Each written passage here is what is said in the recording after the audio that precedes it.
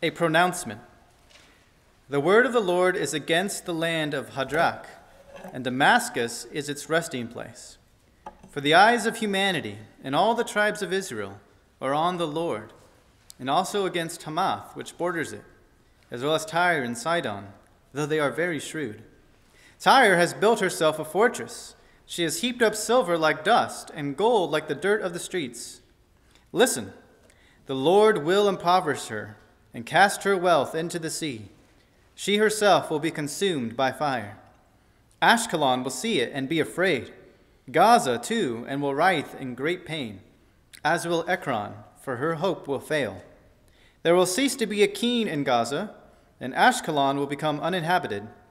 A mongrel people will live in Ashdod, and I will destroy the pride of the Philistines. I will remove the blood from their mouths and the abhorrent things from between their teeth. Then they too will become a remnant for our God. They will become a, like a clan in Judah, and Ekron like the Jebusites. I will encamp at my house as a guard against those who march back and forth, and no oppressor will march against them again, for now I have seen with my own eyes. Rejoice greatly, daughter Zion. Shout in triumph, daughter Jerusalem. Look, your king is coming to you. He is righteous and victorious, humble and riding on a donkey, on a colt, the foal of a donkey. I will cut off the chariot from Ephraim and the horse from Jerusalem. The bow of war will be removed, and he will proclaim peace to the nations. His dominion will extend from sea to sea from the Euphrates River to the ends of the earth. As for you, because of the blood of your covenant, I will release your prisoners from the waterless cistern.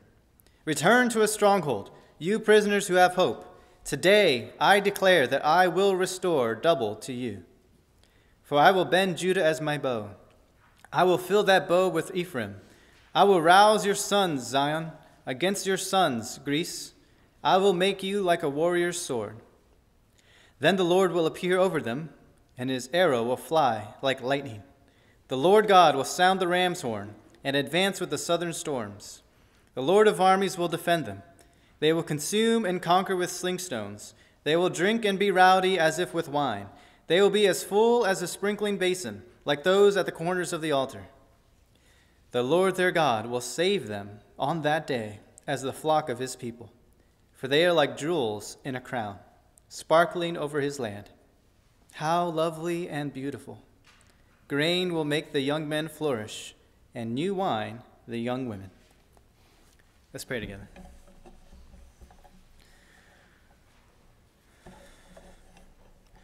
Our Father and our God, we live in a world where there are many voices that clamor for our attention, that demand our response, that claim that we owe our allegiance to them.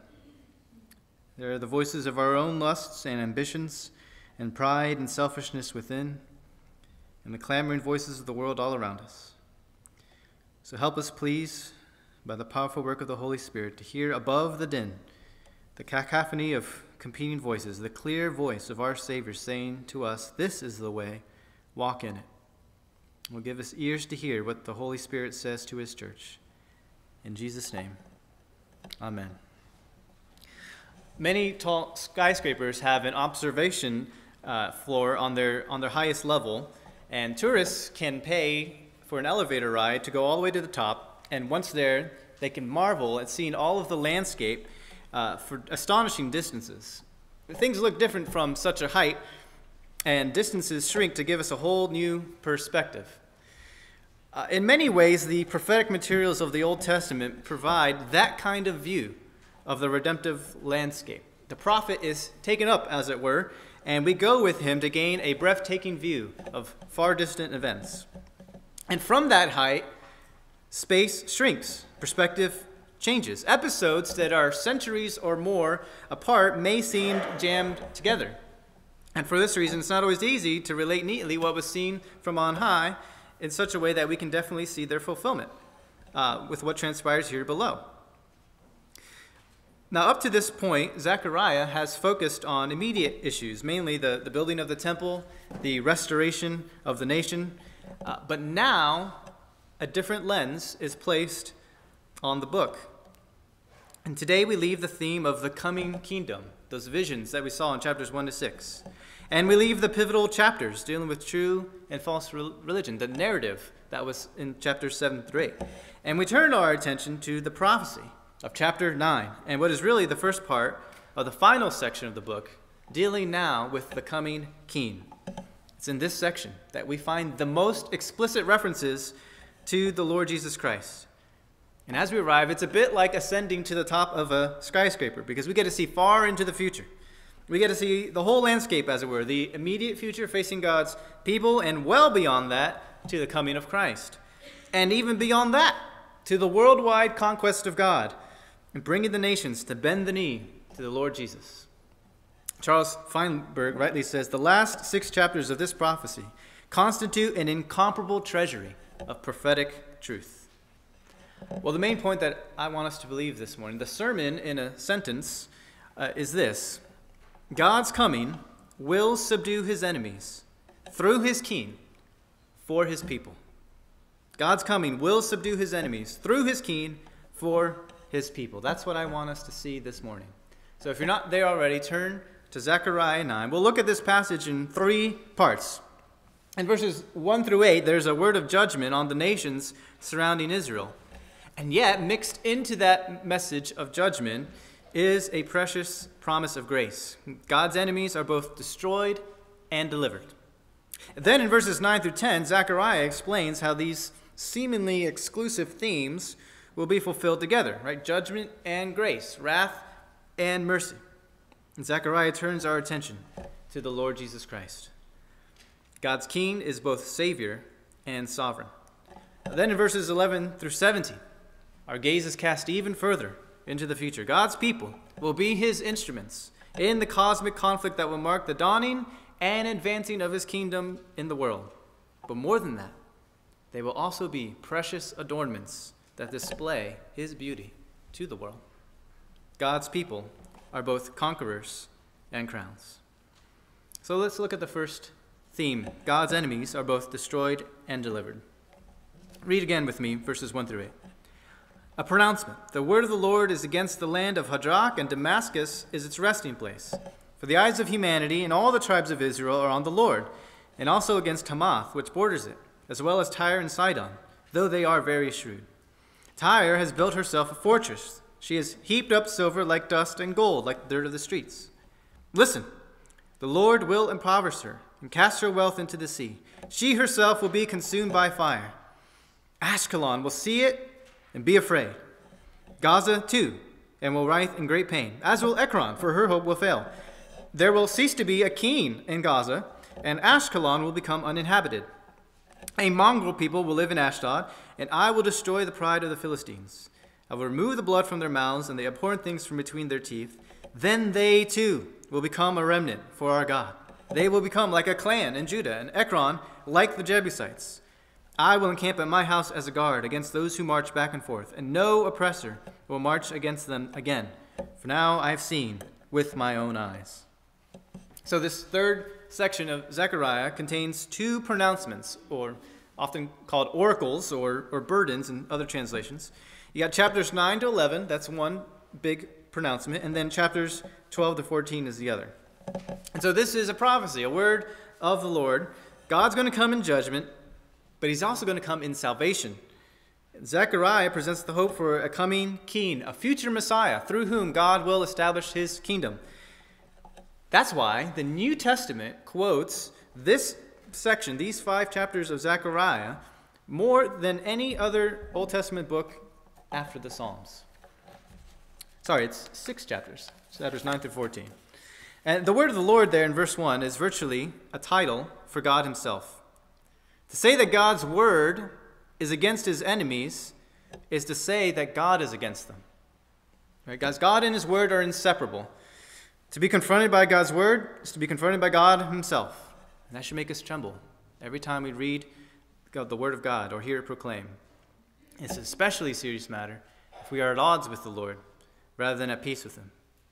The proper way for humans to respond to God, expressed there in the second half of verse 1, almost an under the breath comment by Zechariah before he goes on.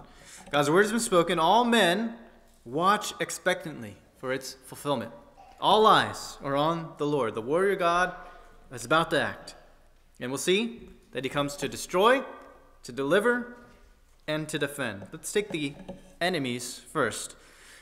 Verses 1 through 6. None are what we might call the big players. These are not the great imperial powers, Assyria and Babylon, that ravaged Jerusalem in the 8th and 6th centuries, nor the Persians, who held sway in Zechariah's own day. Uh, these are the smaller enemies that had troubled Israel in earlier times.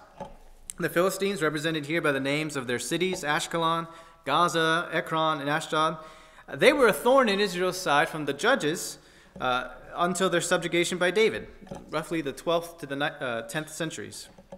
Syria, represented by its capital Damascus, was a problem mainly in the 9th century, but also in the 8th.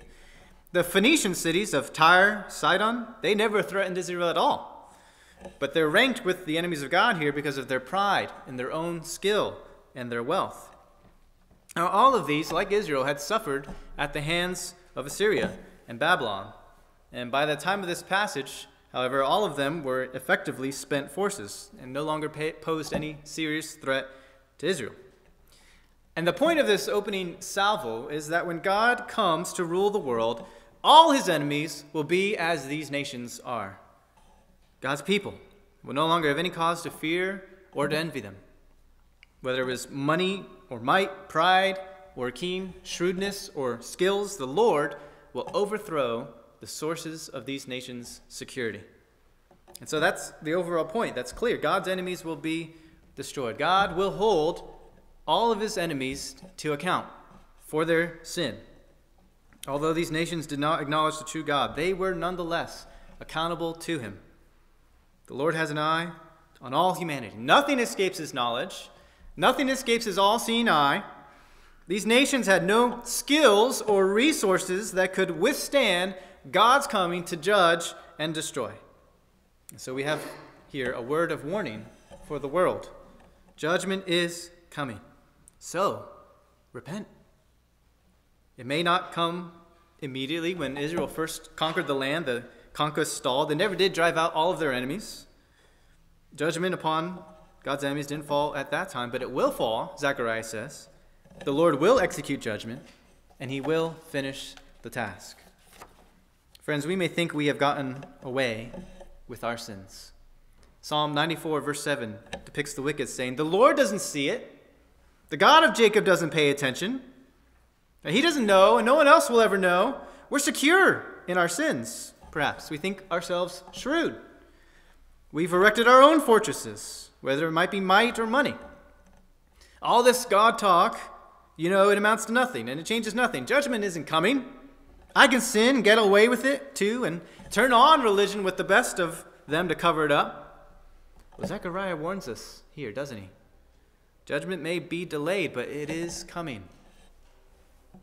Friend, if you're living in rebellion against the Lord today, be know this. Be sure your sin will catch up with you. The Lord will by no means leave the guilty unpunished. This is a word of warning for all of us. But then sounds this surprising note in this section dominated by judgment. Another melody begins to play amidst the minor warning keys. There's this promise of extraordinary, undeserved grace. Verse 7 I will remove the blood from their mouths and the abhorrent things from between their teeth. So the Lord will purify them from their unclean and idolatrous habits. And he'll end their vice, not just by way of destruction, but also by way of deliverance. The Philistines, after all, were the uncircumcised par excellence. If they can be cleansed by God for his own people, well, then certainly anyone here can be today. Then they too will become a remnant for our God. They will become like a clan, or I think a better translation, like a chief in Judah and Ekron, like the Jebusites. This purified remnant will become leaders among the Lord's people. Philistines will be the big shots in the new covenant community. Ekron will become like the Jebusites. The Jebusites were a group that Israel failed to conquer when they first entered Canaan. During David's reign, they were simply assimilated into Israel. You see what the Lord is saying here? Not everyone will face destruction. Some who deserve to be destroyed will receive deliverance. Not everyone will be judged. Some will be incorporated into the people of God. Receive mercy. Right? Once you were not a people, but now you are God's people. You had not received mercy, but now you have received mercy. There's not one of us in this room for whom this is not your story. This is my story. This is my song. Right? We did not deserve mercy. We deserve the wrath and the curse and judgment of God. We were exiles, strangers, foreigners to the covenants of promise and the commonwealth of Israel. But God, who is rich in mercy, loved us, united us to Christ, grafted us in, made us part of his people. God conquers either by power or by grace. But one way or another, he conquers. And he also defends. Look at verse 8. I will encamp at my house as a guard against those who march back and forth, and no oppressor will march against them again. For now I have seen with my own eyes. God himself will be the guardian protector. And oppression will be a thing of the past. That, that never again, of verse 8, promises that God will bring to an end, once and for all, the conflict between good and evil. In his own time, in his own way, God will bring history to its divinely determined end. And until that day, he says, I will defend my house, my people. I'll do it by destroying and converting my enemies, and through my personal protective presence. That's how he eliminates all threats to his people's survival. That's comforting, isn't it? Second Chronicles 16, verse 9 The eyes of the Lord roam throughout the earth to show himself strong for those who are wholeheartedly devoted to him. The Lord's eyes are on us for our good, and they ensure our complete preservation.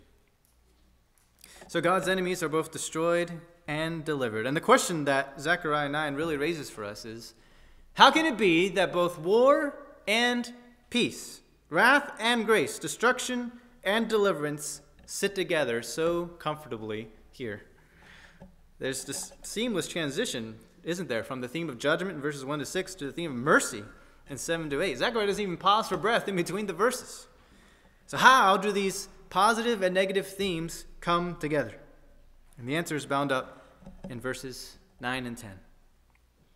God's king is both Savior and sovereign. Look at verse 9 and 10. Rejoice greatly, daughter Zion. Shout in triumph, daughter Jerusalem. Look, your king is coming to you. He is righteous and victorious, humble and riding on a donkey on a colt, the foal of a donkey. I will cut off the chariot from Ephraim and the horse from Jerusalem. The bow of war will be removed, and he will proclaim peace to the nations. His dominion will extend from sea to sea, from the Euphrates River to the ends of the earth. And so the prophet commands Zion, the people of God, to rejoice because the ideal king is coming. Those first eight verses, ringing with this theme of military conquest, would lead us to anticipate the words of verse 14, right? The Lord will appear over them, and his arrow will fly like lightning, and so on. That theme of conquest and that picture of the warrior God, they go very well together. But Zechariah doesn't immediately go there, does he?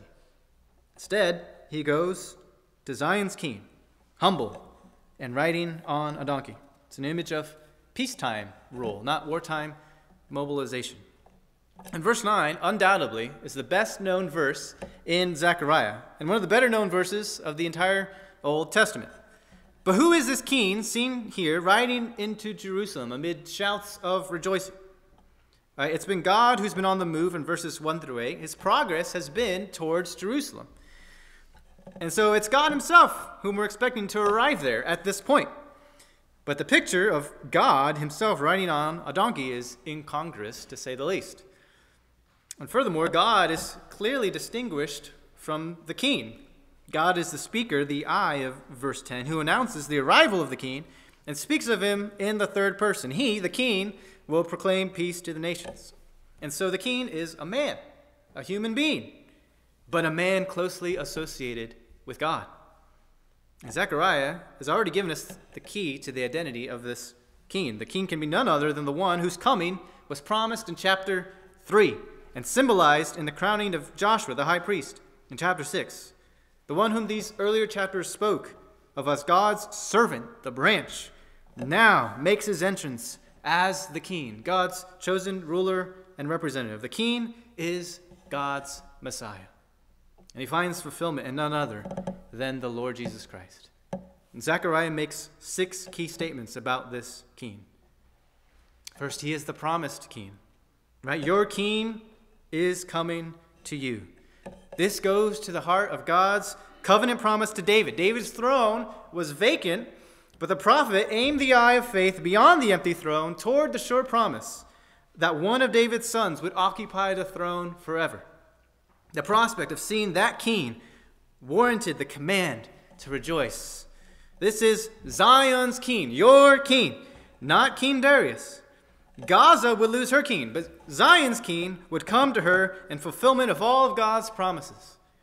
Indeed, every one of God's promises is yes in him. And this king is the source of our joy. Second, he is the righteous king. All other kings, whether of Israel or the nations, were fallen and flawed. They reflected God's character only very imperfectly. But this king is the very embodiment of God's righteousness, the perfect representative. This righteousness foretells the positive and active obedience the Lord Jesus performed during his earthly life. In every way, the Lord Jesus satisfied the expectations and demands of the ideal king. His was a glorious righteousness. Jesus is glorious in his submission to the Father. He's glorious in his devotion to God, his commitment to carry out all his good pleasure. He said, My food is to do the will of him who sent me and to finish his work. None so honored the Father as he in his earthly life. His whole earthly existence was marked by a willing obedience to the will of the Father. His was a voluntary righteousness. This he did freely and voluntarily and cheerfully and consistently and increasingly. For I have come down from heaven not to do my own will, but the will of him who sent me. Freely, at great cost to himself. He is glorious as our obedient king, being born of woman, born under the law, filling its demands for us. When John the baptizer tried to stop him from being baptized by him, saying, I need to be baptized by you, and yet you come to me, Jesus answered him, Allow it for now for, because this is the way for us to fulfill all righteousness.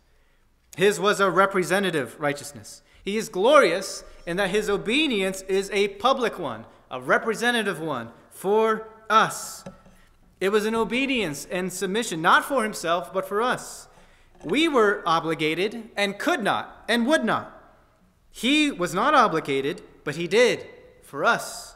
Glorious as our last Adam, for just as through the first Adam's disobedience the many were made sinners, even so through the one man's obedience the many will be made righteous.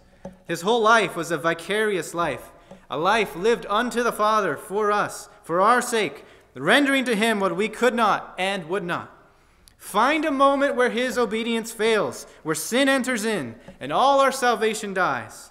Glorious in his submission to his earthly parents, and rendering what we as children have not. Glorious as resisting the wiles of the devil in the wilderness, glorious in his wholehearted commitment to the task the Father has given him. His was a progressive righteousness. He grew in obedience. He progressed from one degree of faithfulness to another, growing in his own faith and dependency, and responding to the increasing responsibilities of his maturing manhood. It was a tried and tested obedience. He learned the increasing demands of obedience, as the writer to the Hebrews writes, from the things which he suffered. His was a completed righteousness. Christ came to fulfill the, the law. Listen to his own statement of purpose in Matthew 5 17 through 18. Don't think that I came to abolish the law of the prophets. I did not come to abolish, but to fulfill. For truly I tell you, until heaven and earth pass away, not the smallest letter or one stroke of a letter will pass away from the law until all things are accomplished. Jesus did not come to set aside the Old Testament, he says that it is abiding as heaven and earth. He's come for a different purpose, to fill up the law and the prophets.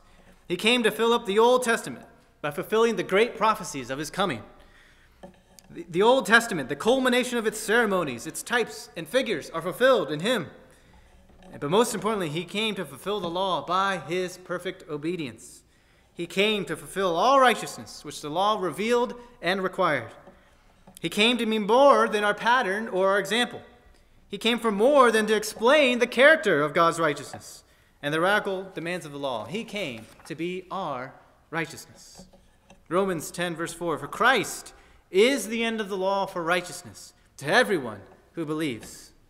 Not that we can now ignore the law of God as irrelevant, but that now our acceptance with God is not through obedience to the law, but by faith, trust in Christ, who as righteousness and as righteous fulfilled all the law's righteous demands for us. So Jesus, glorious in his sinlessness, glorious in his holiness, in his purity of soul and life, in vain do we find a stain or shadow on the character of our blessed Redeemer. Glorious as what man should be in all his active and passive graces, the pattern of perfect human holiness, the living exemplar of what it means to fulfill all the law of God. Not only is Christ externally, eternally, and perfectly righteous by virtue of his deity, but he was animated with righteousness throughout his earthly mission, and he will forever execute righteousness in his royal authority. Third, he is the victorious king.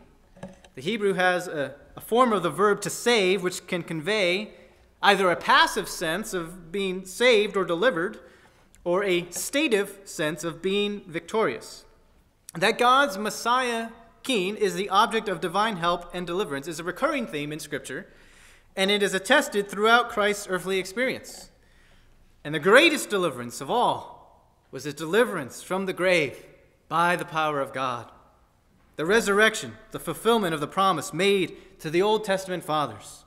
The promise to bless the world through the descendant of Abraham could not be fulfilled if that descendant was dead. The resurrection established finally the identity of Jesus as the Son of God, vindicating the claims he made. The resurrection confirms who he is. And the resurrection validated Christ's atoning work, thus securing the believer's justification. The validation of the fact that the price for sin was paid in full was the resurrection. It's God's radical approval of Christ's work on our behalf. And so Christ's deliverance marked his victory over every enemy. And because he is victorious, he delivers and saves his people. Fourth, he is the humble king. This refers more than Christ's meekness of spirit. It has the idea of being afflicted or oppressed and encompasses the whole suffering life of Christ. Theologians often speak of Christ's earthly life as his humiliation. The keen riding a young donkey further defines his humble obedience and was the specific element of prophecy fulfilled at the triumphal entry. And the significance is not that the donkey was a lowly creature in contrast to the stately horse. Donkeys were often mounts of ro- for royalty and rulers, the people's response when they saw Christ riding in Jerusalem on the donkey was not surprise as to why a king would be on a donkey, right? Rather, when they saw him, they immediately cried, Hosanna! Blessed is he who comes in the name of the Lord, the King of Israel. The significance rests in the fact that horses were war machines, symbolic of self reliant distrust of God. Remember, Deuteronomy said that the king was not to accumulate horses, it would be aberrant for the ideal king to associate himself with that which marked keenly disobedience. So, even in the detail of the donkey, Christ fulfilled all righteousness. He is gentle and lowly. He comes unarmed, riding a donkey rather than a war horse. He is the very opposite of the proud, oppressive tyrants that have all too often ruled the kingdoms and empires of this world. Fifth, he is the peace preaching king. He will proclaim peace to the nations. We often think of peace as the absence of conflict. And the peace spoken of certainly includes that. For in announcing the arrival of this king, God promises he'll take away chariots and war horses, he'll remove the battle bow. But the, king, the peace the king proclaims is something far richer than this it is shalom, wholeness, well being, the sum total of everything good and life enhancing. It encapsulates life in covenant with God, rich with his blessings. And the coming king is a preacher. And what he proclaims is peace with God and everything that flows from it. It's what Isaiah referred to as the good news, the gospel of peace. Jesus came to preach the gospel. When he was spending the early morning in prayer and his disciples found him and told him, Everyone's looking for you. Jesus replied, Let's go on to the neighboring villages so that I may preach there too. This is why I have come. Why did he come? He came to preach. He came as that greater prophet prophesied by Moses in Deuteronomy 18. Wherever we see him, he is preaching. We are not left in the dark as to the content of his preaching. Mark 1 14 through 15, it's summarized. After John was arrested, Jesus went to Galilee, proclaiming the good news of God. The time is fulfilled, and the kingdom of God has come near. Repent and believe the good news. He set forth the coming of the kingdom, the character of the kingdom, the conditions to enter the kingdom, the characteristics of the kingdom citizen. And by this preaching, he revealed that he was indeed the long awaited Messiah. He came to preach the good tidings of life, to do the work of an evangelist, to show the way of peace to proclaim deliverance to the captives and recovery of sight to the blind. And his immediate calling is ours as well. His work is to be ours, to go up and down and publish the glad tidings of the gospel. We are to preach the good news. We have many responsibilities individually, in our families, and among ourselves. But in this world, we are to preach. That is the calling. Said the commentator Ryle, by preaching, the church of Christ was first gathered together and founded. And by preaching, it has ever been maintained in health and prosperity. By preaching, sinners are awakened. By preaching, inquirers are led on. By preaching, saints are built up. By preaching, Christianity is carried to the heathen world. What are we to preach? The same message as our Lord repent and believe the good news. And then, six, he is the global king. His dominion will extend from sea to sea. The king spoken of here is like no other. As Zion is like no other place. It's destined to be the center of God's kingdom on earth. And Zion's king is the one chosen by God to rule there over a kingdom that will eventually replace all others. His rule will extend from sea to sea and from the Euphrates River to the ends of the earth. And so this king differs from all other kings, both in the place from which he rules and in the extent of his rule. And taken all together, we see that he is both savior of his people and sovereign over all. So we have a most remarkable contrast here between war and peace, between the warrior God and the gentle king, between judgment and salvation. And yet it all comes together. God will triumph, but the king represents an alternative to being overthrown. He comes proclaiming peace. The king, so to speak, is God's final offer. It would be perilous indeed to spurn it. And all of this adds enormous depth and richness to our understanding of Jesus. God not only stood behind Jesus when he came, but was present in him. The coming of Jesus the Messiah was the coming of God himself, not at that time to overthrow his enemies, but to proclaim peace, to offer an amnesty. And he came first and foremost to Israel, his own people. He came to Jerusalem as God had said he would, riding on a donkey. He came to God's house, the temple, and he treated it as his own. And the tragedy is that when he came, his own people did not recognize him as their king. They did not know the day of God's coming to them, and they ended up crucifying him. Paul writes None of the rulers of this age knew this wisdom, because if they had known it, they would not have crucified the Lord of glory. The ironic sign nailed to his cross said it all. This is Jesus, the King of the Jews. But it was not the end of the story. For this tragedy, dark and terrible though it was, was within the plan and purpose of God to bring salvation, not just to Israel, but to the whole world. Not all rejected him. And around that crucified king gathered a new people of God who were destined to herald the good news of his kingdom to the ends of the earth. And that brings us to our third theme God's enemies are both destroyed and delivered. God's king is both Savior and sovereign. And finally, God's people are both conquerors and crowns. In this final section, the focus shifts from the king himself to those who are associated with him and share in his victory. And these verses highlight the transformation of Hebrew captives into God's warriors. First, God's people are delivered. Look at verse 11. As for you, because of the blood of your covenant, I will release your prisoners from the waterless cistern. Return to a stronghold, you prisoners who have hope. Today I declare that I will restore double to you. For I will bend Judah as my bow. I will fill that bow with Ephraim. I will rouse your sons, Zion, against your sons, Greece.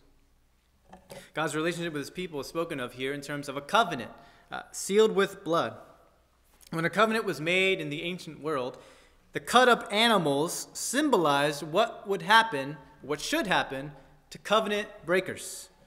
This was a visual way for the parties to say, in effect, So shall my life be shed if I violate my promise.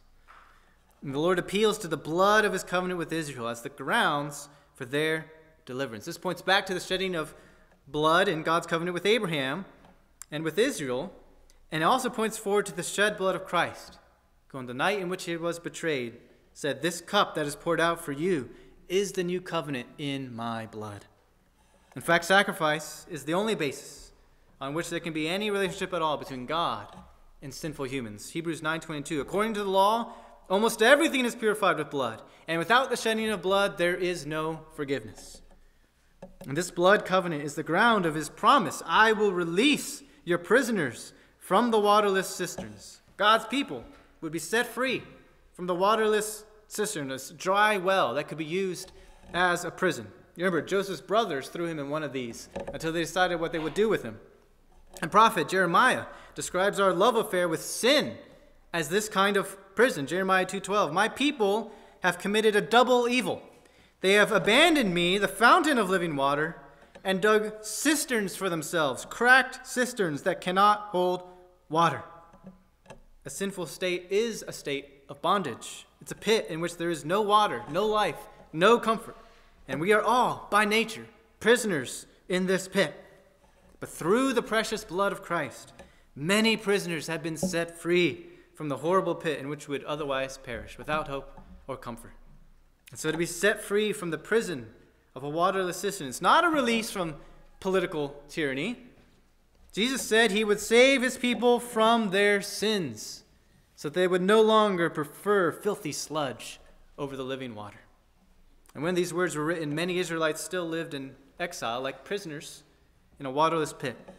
But they're called upon to act as people who believe in the coming of God's King. They're to see themselves as citizens of Jerusalem, and therefore, by faith, of the Zion that is to be. God's promise is that they will have more, much more, than they have ever lost. They have only to shake off their despair and set out for home. Return to a stronghold you prisoners who have hope, today I declare that I will restore double to you. Zechariah envisions a day when God will restore twice as much to his people, a double portion, in recompense for the shame and suffering they had endured. This same promise is held out to all who turn to Christ, our great stronghold.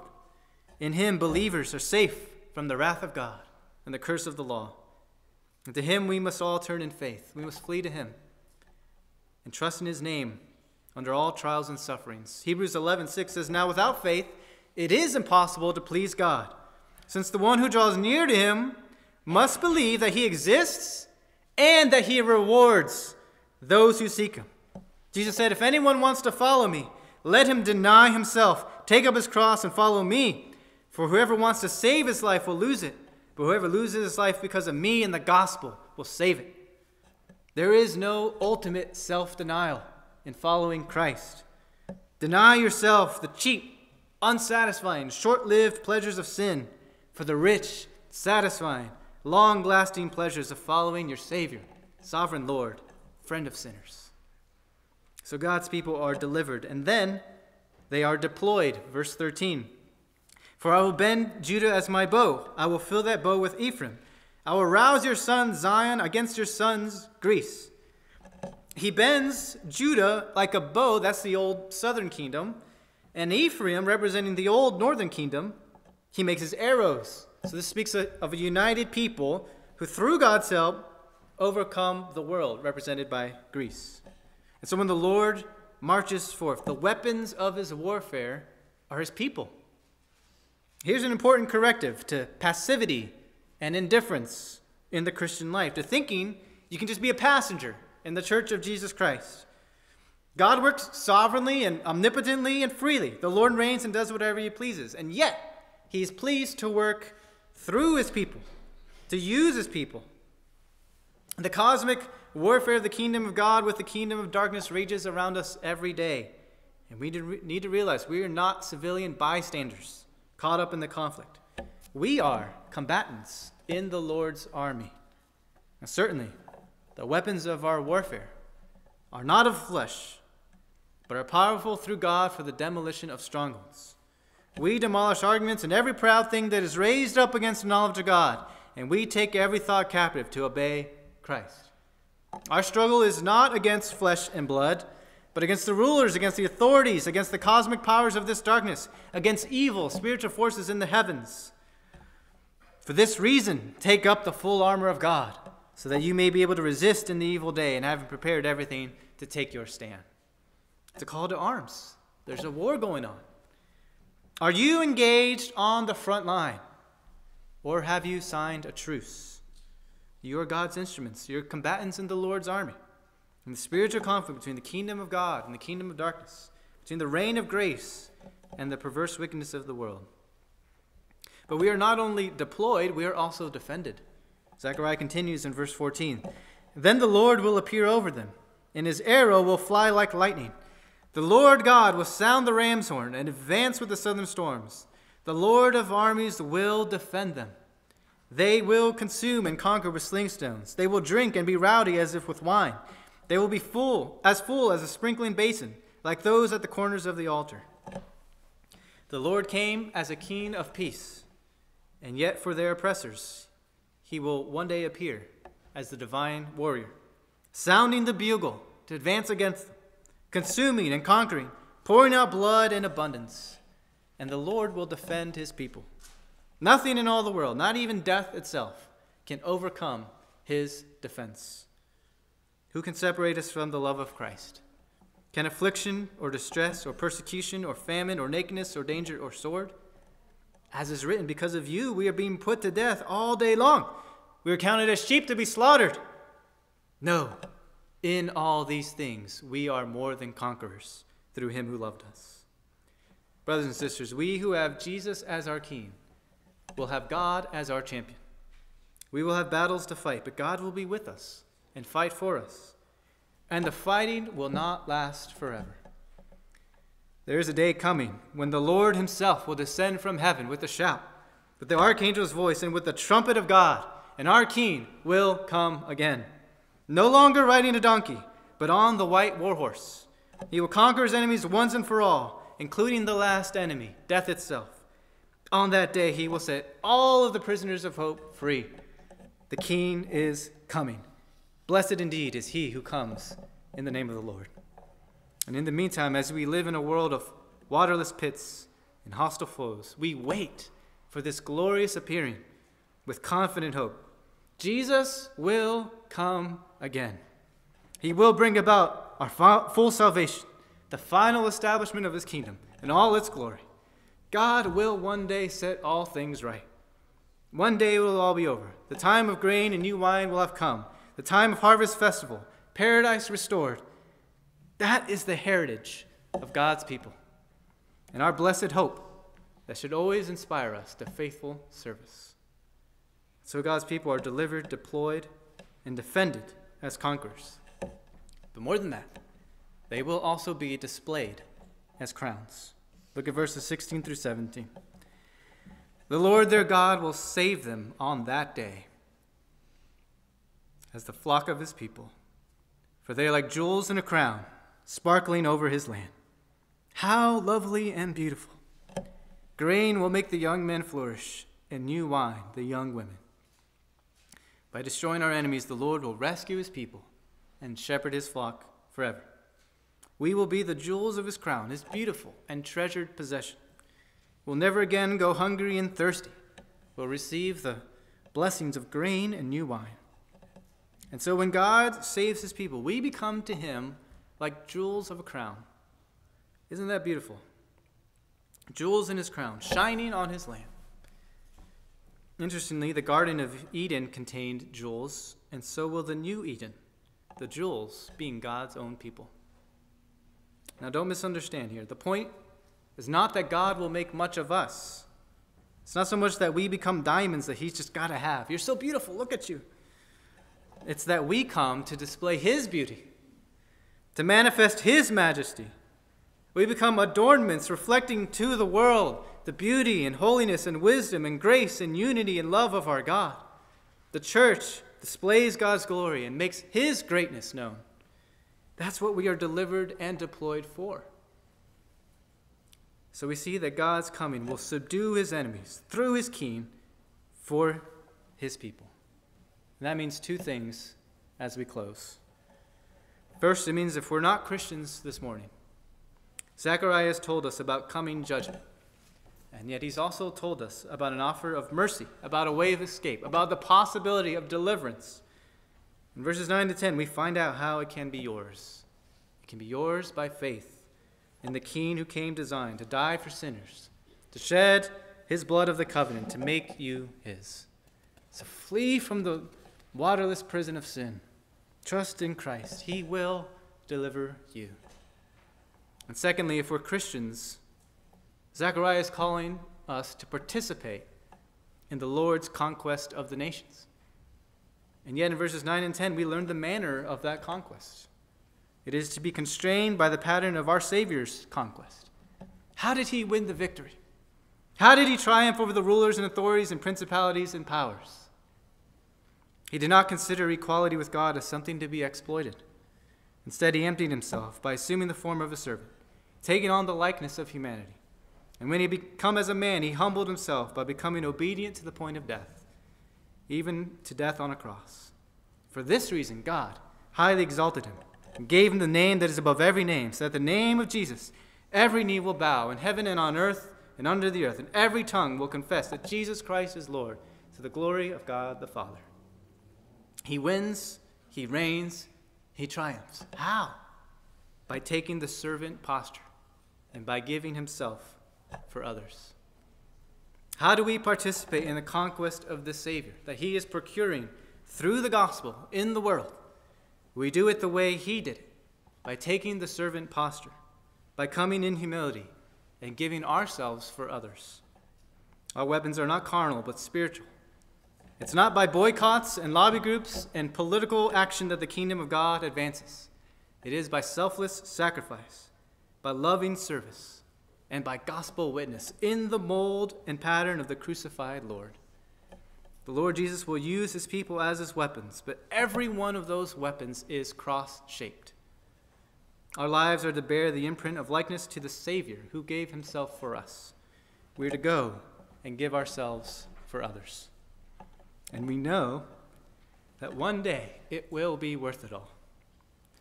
One day Jesus will come again and subdue all his enemies for the everlasting joy of his people. One day all the precious jewels all God's people from every nation on earth will adorn Emmanuel's land, will shine in Jesus' glorious blood bought crown, and Christ will exclaim of his magnificent bride, How lovely and beautiful. Let's pray together.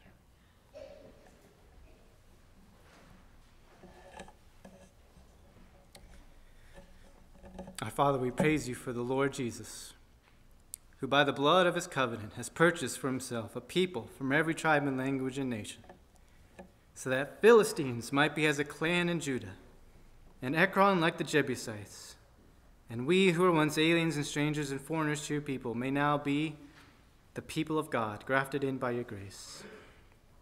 As we see our Savior's selfless sacrifice, as we hear the call to arms and to labor in the conquest of the nations, with the gospel ourselves, Help us to follow the model, the pattern of our Savior has set, to give ourselves for the good of those around us.